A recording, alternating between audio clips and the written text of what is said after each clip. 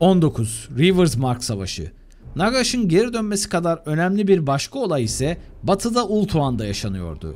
Tyrion ordusuyla beraber Kane'in tapınağına doğru ilerlemeye başlamıştı. Karanlık elfler bir tuzak kurmuşlardı. Fakat pusu Tyrion'a değil, Karadrian'ın öncü ordusunaydı. Tyrion ordusuna hücum emri vererek karanlık elflere saldırdı. Karanlık elf ordusu iki ordu arasında kalmıştı.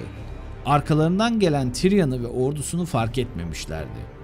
Grondlu mızraklılar bu sürprize karşı ayakta kalamadılar ve korudukları Grondlu büyücü ile beraber öldüler. Güneş batarken savaş daha yoğun bir hal aldı. İlk hat kırıldıktan sonra ikinci hatta Klar Karond'un hidrasını barındıran ikinci bir karanlık elf alayı vardı. Tyrion hattı delip geçse de diğerleri pek o kadar şanslı değildi. Zayiat verilmesine rağmen ikinci alayda kırıldı. Tyrion hücuma devam ederken Kaptan Corhill yaşayan askerlere Tyrion'a yardım etmelerini buyurdu. Bin güçlü elf desteği yola koyulurken büyücü Drosula gizli yollar oluşturarak yüce elf ordusunu böldü ve hepsinin çevrelenmesini sağladı.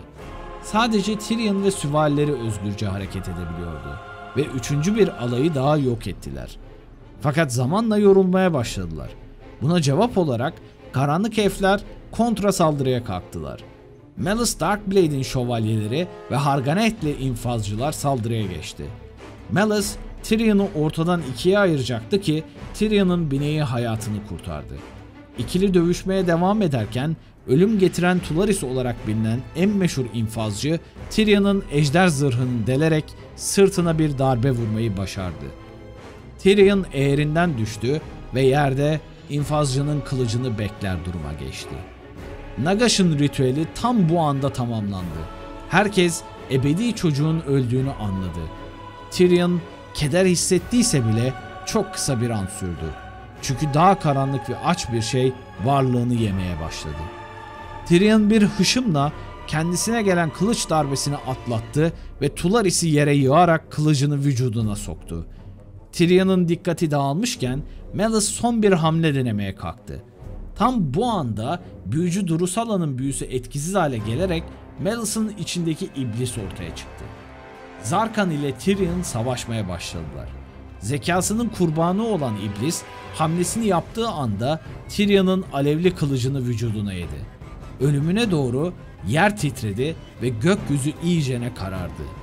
Nagash'ın büyüsünün etkisi buraya ulaşmıştı.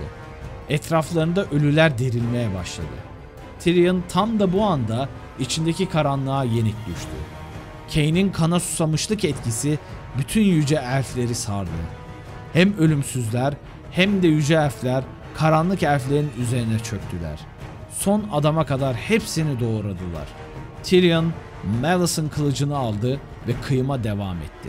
Heldenheim kalesindeki yıkıcı kuşatmadan evvel Arka'nın ve Manfred'in entrika dolu sinsi planları Neferata için sürpriz olmadı. Neferata'nın casusları imparatorluğun dört bir yanında cirit atıyordu. Bu yolculukta Arka'nın ondan yardım istememiş olması onu endişelendirmişti. Düşmanları yaklaşıyordu ve bu savaşta doğru tarafı seçmesi gerekiyordu.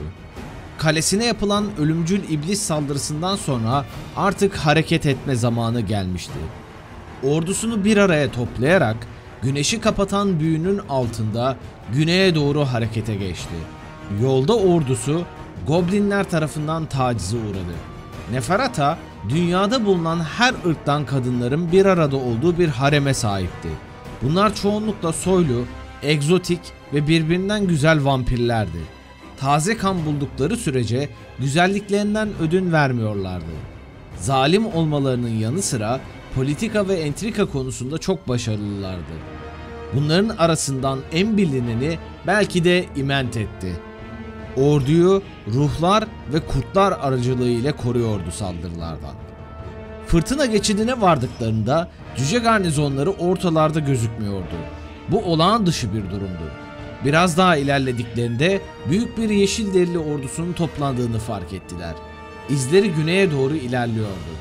Kuzeyden gelecek ölümsüz saldırısını beklemiyorlardı. Böylelikle Neferata çok az kayıp ile birden fazla orduyu bertaraf etti. keşif gözcüleri yeni haberler getirmişti. Goblinler Savaş Lordu Grulzik komutasında büyük bir ordu toplamış, Şaman Brak Batwing'i yanlarına almış ve Skarsnik'in Vaa çağrısına doğru gidiyorlardı. Karak Eight Peaks savaşına destek çağırıyordu Skarsnik. Neferata desteğe giden ordulara arkadan saldırıya geçti. Üç gün süren savaşta Goblinler kendini zar zor Kelle Uçurum'un binlerce mağarasından birine attılar. Gruzik, Skarsnik'in dikkatini çekmek istiyordu. Dolayısıyla mağaralardaki orduları tekrardan toplamaya çalıştı. İstekli veya isteksiz bütün goblinleri ordusuna kattı. Moonhowlers, Blood Peaks, Mad Moons, Crookhoods ve Crookblade kabilelerini bir araya getirmeyi başardı. Orduyu savaş hattına sokarken kalan kabileleri mağaralarda pusu kurmaya gönderdi. Neferata ve ordusu geldiğinde ok yağmuru ile gökyüzünü kapattılar. Goblin fanatikleri zincirlenmiş gülleler ile hatlarına doğru kıyım yaratarak girdiler. Savaşın ötesinde üç delirmiş goblin şamanı lanet üzerine lanet yağdırıyor, ölümsüzlerin büyüsünü Ma'nın büyülü gücüyle bastırıyorlardı. Ölümsüzler adeta dalga dalga geliyordu ve sonu yoktu. Sol cenahlarında Lahmiyalı muhafızlar ve Yüce Hanım'ın muhafızları vardı. Fakat sağ cenahta taş trolleri hatlarını yarmıştı. Moonhowlers kabilesinin ordusu ve iki dev ile beraber bu taraf eziliyordu. Yeşil deliler için galibiyet yakındı. Imentet ikinci dalga ordusunu bu yöne doğru yolladı. Ruhani yaratıkların devreye girmesiyle işler değişti. Goblinlerin mızrakları veya bıçakları ruhlara zarar veremiyordu. Goblin hatları çökmeye başladı. Bu sırada savaş lordu Grulzik tuzak planını devreye soktu. Uçurumun içinde bütün mağaralardan kükreme sesleri gelmeye başladı. Goblin orduları, squigler ve troller uçurumun iki yanında bulunan mağaralardan akmaya başladı. Savaş hattında kaos meydana geldi adeta. Dev sayıda yeşil derili ordusunun arasında kalan ölümsüzler, ölüm büyücülerinin hayatta kalma çabasından dolayı öldüklerinde yerden kalkamıyorlardı. Başka şansın olmadığını anlayan Neferata savaşa bizzat kendi atıldı. Çift başlı ejder Kaymera bir mağaradan fırlayarak savaş alanının üzerinde kükredi. Hedefi vampir kraliçeyi öldürmekti. Neferata görülebilecek en güçlü vampirlerden biri olmasına karşın iyi bir savaşçı değildi. Canavarla münakaşasından canavar galip gelmişti.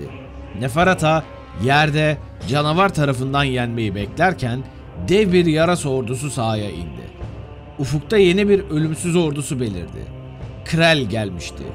Kaymera'nın dikkati dağınıkken çift taraflı baltasını canavarın göğsüne yerleştirdi. Yararak açtı ve canavarı öldürdü. Neferata bunu bilmese de Nagash'ın büyüsü yayılmaya başlamıştı. Dağlar titriyor, her mezardan ölüler ayaklanıyordu. Bir milenyumluk ömrünün dolmasından tamamen iyileşmeye giden bir süreci çok kısa bir anda yaşadı Neferata. Yeni bir yoğunluk da doldu vücudu. Bütün düşünceleri Nagash'ın iradesine teslim oldu. Savaşı kazanmışlardı ve Neferata Nagash'ın safındaydı.